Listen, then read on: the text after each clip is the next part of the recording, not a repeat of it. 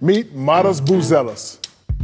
The next up in a growing list of top high school prospects who have taken their talents to G League Ignite en route to the NBA. Coming from a long lineage of Lithuanian pro athletes, Matas hopes to be the first in his family to play in the league. Highly skilled 6'10 teenager might be a top five pick in June. But until then, he's got a lot to prove. This is The Break, presented by the General Insurance.